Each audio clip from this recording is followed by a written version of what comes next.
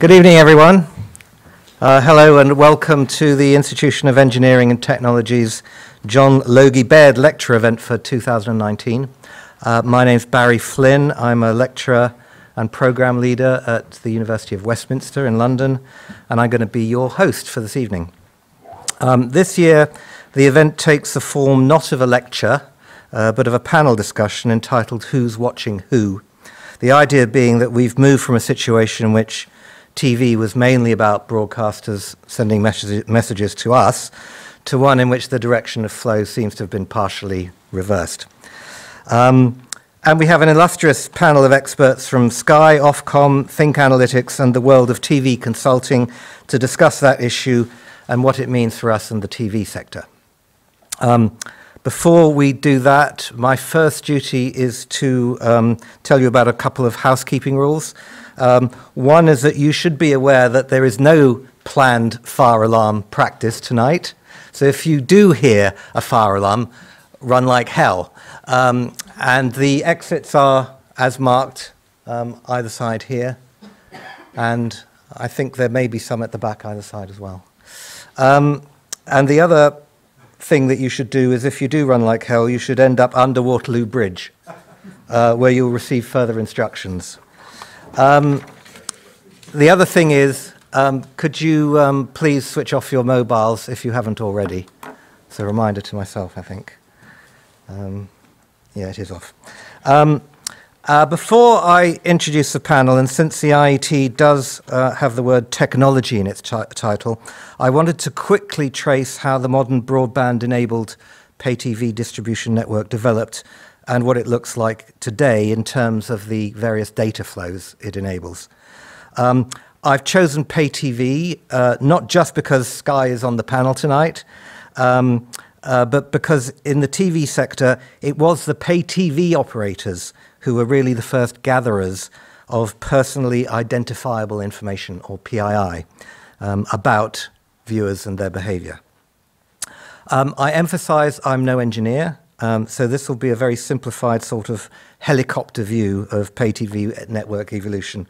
Um, ordered into a historical sequence, um, which is a bit bogus because, in fact, every pay TV operator in, um, in, in, every country or every different country had a slightly different path um, towards um, uh, turning themselves into an advanced broadband enabled network. Um, anyway, um, as I'm sure you know, initially the whole thing uh, before the fall uh, was entirely one way. Um, and you um, uh, have here a diagram of a uh, satellite pay TV uh, broadcaster on the left and um, a subscriber home on the right.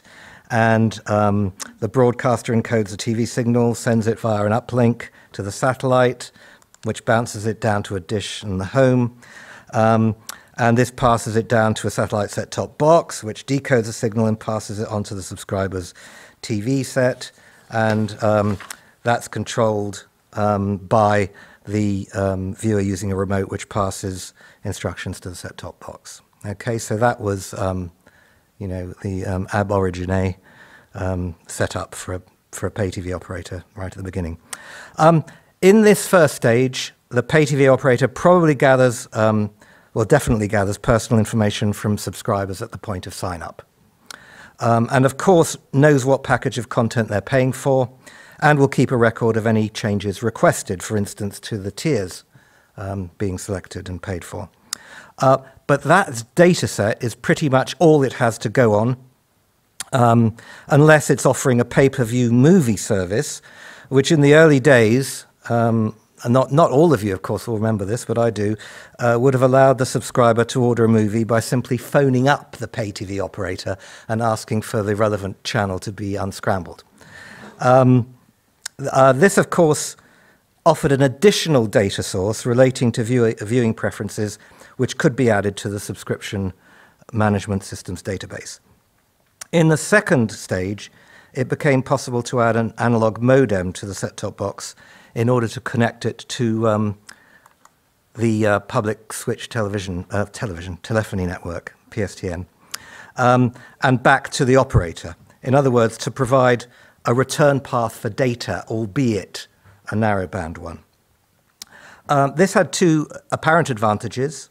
Uh, it had been discovered that allowing the subscriber to automatically order a pay per view movie over the phone network by just clicking on the remote um, significantly increased movie buy rates.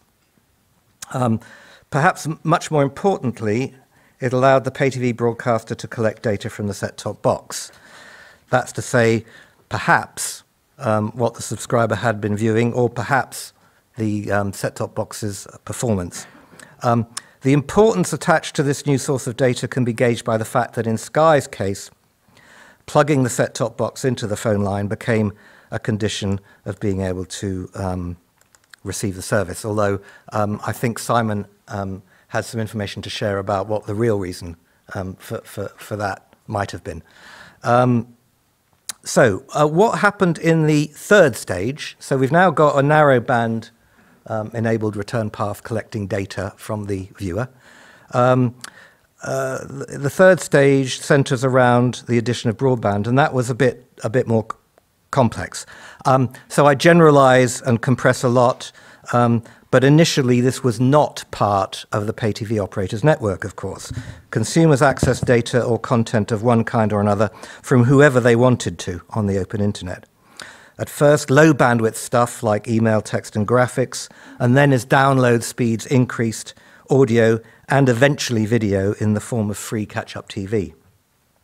Not only did the pay TV operator not control this network, it had no control of the content either, or indeed the devices used to consume it.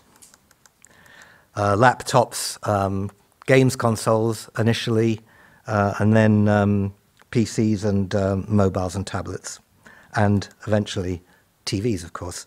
Um, these devices unlike set top boxes, which were managed by the pay TV operator, um, and indeed mostly owned by the pay TV operator, were purchased by consumers through retail outlets instead of being rented from the operator. The, ne- the next two developments, again, um, this is very compressed, were that pay TV operators started connecting their set top boxes to the household's broadband link, vastly increasing the amount of data they could upload from it over the internet allowing them to considerably enrich their knowledge of subscriber behavior. It might not have been technically possible to capture every single keystroke on a remote control before in real time, but it certainly became possible now if you wanted to do that. The second thing that happened was that triple play players evolved. Um, so, in some cases, pay TV operators did start managing um, a broadband network. Um, if not the Wi-Fi network as well inside the home.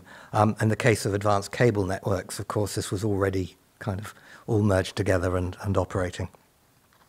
The third thing that happened um, in reaction to the success of free and eventually paid for OTT services, um, and in an, an, attempt to recapture the viewing and, in some cases, of subscribers that had migrated to them, they launched their own on demand online video services for their subscribers. Initially receivable on their own managed set top boxes, and eventually on the other unmanaged screens in the home uh, as well, when technology allowed all the um, DRM and security issues to be ironed out. So that's roughly where we, we stand today. Um, the point I'm making in, in, this, in this diagram is that it is technically possible, at least in theory, to harvest data about consumer behavior, whether it's PII or aggregated data, from every single red arrow or network segment on this diagram. Technically possible.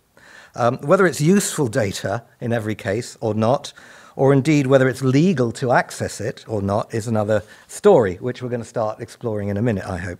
But technically, it would be possible. A few observations. What's inside this little cloud icon, i.e., the internet, um, is what's made the whole data landscape balloon recently, in recent years, with hundreds, if not thousands, of third party players who are each creating data about the behavior of the operator's subscribers for their own purposes. just to cite a few of the dozens of interested constituencies, there are the social media platforms where viewers talk about, discuss, and share the TV content they're interested in. There are the catch up TV or SVOD players whose content is being consumed willy nilly. Um, the content distribution networks or CDNs across whose platforms most of the high quality TV content is flowing, and all sorts of companies doing clever things by correlating individual and aggregated data. For instance, um, I've, I've made a mention there of TV Squared at the top, which is a company that uh, matches the surge in website activity when a brand is advertised in an ad break, and it, it matches it using machine learning.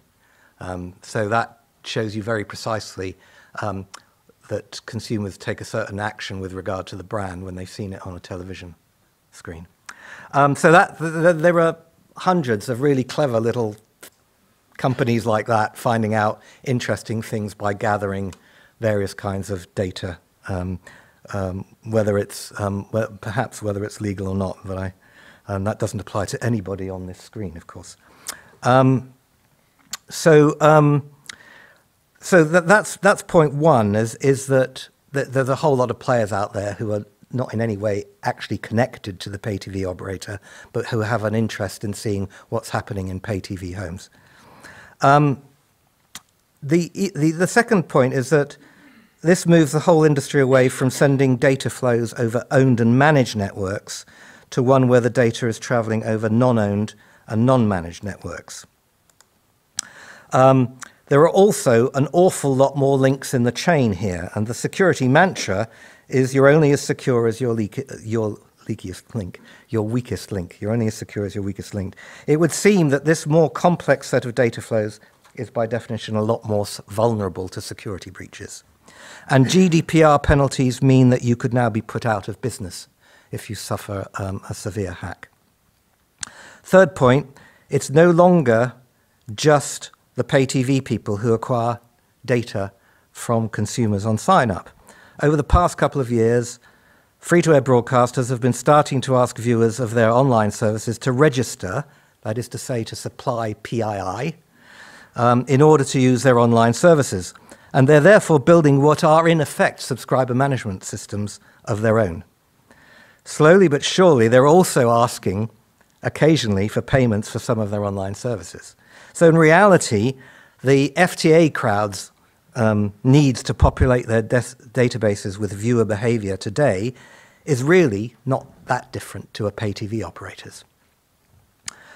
Fourth point when, when using a media server to stream OTT services to a consumer device, the broadcaster potentially has access to census level data about the audience watching a particular program, uh, not just sample data from, say, 10,000 representative homes. Um, that, that offers data to TV companies with near zero um, uh, errors in the data collected because it's a server recording every single um, video stream served by, by it to a defined IP address. Um, another minor point, perhaps, is that media companies have histori historically kept um, data in silos, in some cases, uh, for legal reasons, because they're not allowed to pass data between the two. But doesn't that prevent you from correlating data between the silos? Um, uh, the last point, which, um, I, uh, which I'm sure we'll, we'll, we will discuss tonight, is how do we keep recommendation engines honest? The idea is that such an engine analyzes what I watch and objectively provides me with recommendations that are going to be relevant to me, increasing my viewing and engagement. But what about when the operator has an interest in promoting an original production that they have heavily invested in? I'm sure some of those issues will be touched on um, in what's going to happen tonight. So let me introduce our first speaker. Um, it is Jamie West, who's Group Director at Sky Advertising.